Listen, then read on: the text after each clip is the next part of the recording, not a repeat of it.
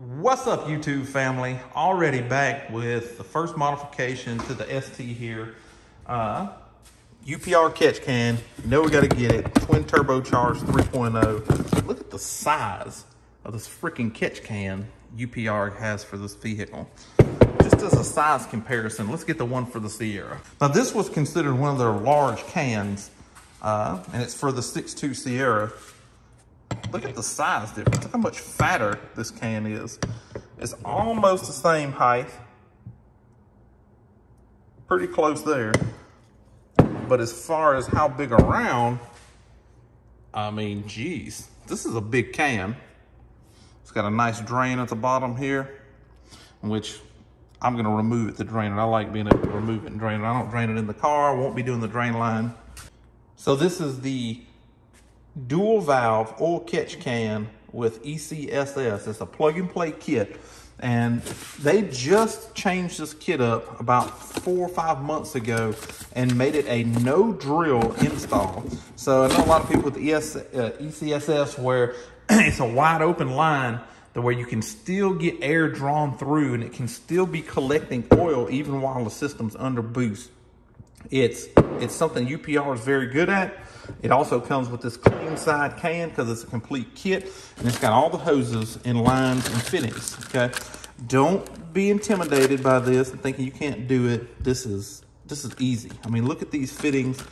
UPR thought of everything. These are high quality. UPR was doing these fittings and these nice SS hoses and everything or uh, braided hoses, sorry, and everything before anyone else did. I know a lot of companies do it now.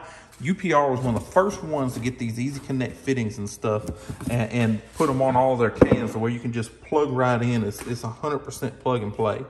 Uh, I made plenty of videos of UPR. I use them on everything. I purchased this can right here, just like I did the one for the Jeep.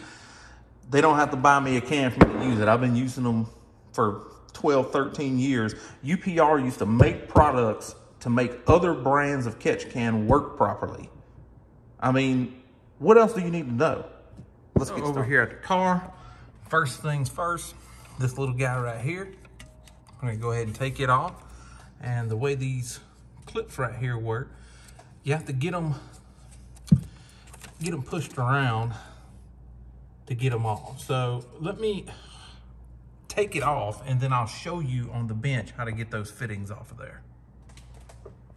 So how these work are pretty simple. It's just a pain because of where they are in the car. It's hard to get to this, but this right here, you push this up and over. Push it up and over that lip and it opens, it opens it up. It's just a pain to get to where it's at. So once I have that off, I wanted to get that off first. Uh, the directions actually mount the can first. So this right here is where we're gonna mount the catch can to. It's this hole right here. So let's bring it over. So you'll just need a 530 seconds Allen and get this ginormous can set here into place. This can should be plenty enough to go in between oil changes. Hopefully this thing doesn't have that much blow by. But you have a huge area here to, to be able to mount this can. And I'm gonna loosely fit it for right now uh, until we get all the hoses installed. I've already got the clean, the uh, dirty side hose taken off on the other side over here. We got that piece out of there. So now we need to start running our UPR hoses. So there's two different hoses. You have one without your check valve and one with your check valve that I have here in this kit. So the one with the check valve is going to go on the side port here. Make sure it's clicked in there real good. That's the side port. And the one without the check valve is going to go on the top port. And the top port is always your dirty line coming in. So that means this one without the check that's in the top port here, that one will go onto the valve cover like so. Make sure it clicks down into place really good. And then the other one that has the check valve in it, check marks or the valve always faces towards the intake away from the can. And that clicks down. Always check and make sure they click in. And then we'll tidy up these hoses just a little bit here in a little while. So the next step was to get the other side of the hose that went right here, come on, right here on the clean side, out. And these little orange fittings, as you can see, I already put a UPR one on this side, and I'm gonna replace this one. Just, I, am it's got instructions on how to release the tabs on this, but you can go ahead and count on you just breaking it because I don't don't ruin your day. Just go ahead and stick your pick underneath there and break these orange things and remove this hose and then replace it with the UPR ends because I messed with this for an hour and I do lots of work in here and Ford should be ashamed of themselves. They really didn't want you to get this one hose off of here. So just don't even, just put, don't even mess with these things. Just go ahead and break the orange clip out the center so you can get them off and get UPR ends on. And you're gonna heat up the ends. We're about to show you how to replace the ends. Once you get this hose off, then right down there, you'll just put the T-fitting that UPR supplies. You can have that female end facing you and then the male end facing straight up to receive this hose once we get it fixed. So let's go over here and do that. Okay, so UPR being smart as they are, they know that we, we probably gonna break these hoses, okay? So they did supply some extra ends here in the kit, okay? So this right here is the other one that I already removed. You can see that it matches this one and all you have to do is roll to get these on. You roll back this insulation stuff a little bit. You can get a heat gun or a hair dryer, just something to warm this up a little bit so you can twist the, these ends up out of here. Doesn't have to be scorching hot.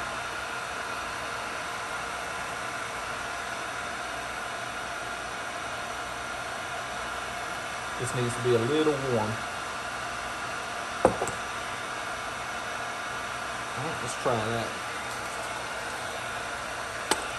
Yep, you just twist back and forth and she pulls right out. Then you can take whichever end that you would like to put on there. Both of them look the same to me, so I'm just gonna go with this one and just push it back up in there.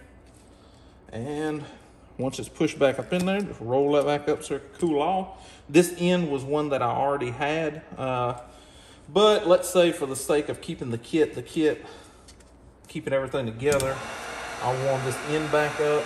This is from a different catch can kit, and I'll use the one that they supplied. Just to keep everything, to show you that they have everything in the kit that you need. And this is the one that come in the kit. Push it on there. Push this back up. And there you have your finished piece. And UPR, like I said, they they probably realize that these these clips that Ford put on that hose suck, and that you're more than likely going to break them. So thank God for them guys and thinking ahead and just going ahead and supplying these in the kit for you, so you don't have to worry about it. Back to the car. So for the clean side here, this right here is pushed out. You just barely push it in and it'll go right where this went. Make sure you get it clicked all the way on. There we go. A little snug, make sure that, it, a little pull, make sure that it's snug. Then this side of our line here, you put your hose back on here. Let me set the camera down so I can get it on. So let's try to show what I did here. You'll turn this 90 degrees to where that it's in. Now this is a little bit different than their instructions because on this 2022, both ends of this hose was that weird orange fitting and there's no sensor in this hose like there is in their videos. So that's another thing that they changed. Uh, it still goes down to right here. See if they can actually focus on what I want it to. All right, so it still goes down right here and it clips on. There we go. Now we can see it a little better. That's their, you know, little T-fitting there. And then it comes out and goes into the can right here into the side. And this is what allows you, even at wide open throttle, to still have flow through the can. So I had to push the can pretty far over here. I've got some of this cloth wire tape that I've put and kind of, you know, tied it up. Uh, be careful around some of these little fittings and stuff like that. Uh, I actually, my big ass hand broke this one right here off and I'm gonna have to do some plastic weld and weld it back on and hope that it works. Uh, and it looks like it's a small boost reference line right here that I that I broke. So be careful when you have your big hands down in there trying to get to some of this stuff because it's easy to break some of it. So hopefully that works out for me. I'm sure that it will. If not, I'll wind up ordering another one of these tubes or the momentum intake, huh? either way. Huh? have it all installed, ready to go. Hoses are gonna be kind of tidied up here. Uh, again, I didn't have the sensor in this clean size hose, clean side hose over here. And I had the orange pain in the butt fitting on both sides of that hose. Uh, so something that they updated or changed in 2022, or at least on this one, who knows nowadays, it might just be this car and the, you know, last 50 before it, next 50 after, and everyone else got the other hose. No telling. Uh, but UPR kind of thought about things like that. They included both the fittings, so everything will be good, and it looks good under the engine cover here. Just go back, make sure that you have gotten all your lines clipped in with the Easy Connect fittings and stuff that they include. Uh, make sure that you've tightened down your catch can here and everything's good to go.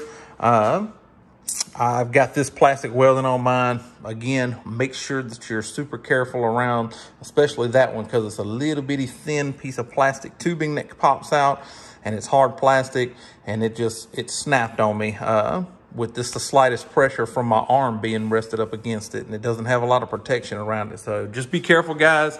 This is stuff that you can do. Uh, don't make the same mistakes that I made right here. Plenty of people installed this thing without any kind of issues. UPR really thinks that everything with their kits, they supplied extra fittings and everything because they just knew we were going to break them, man.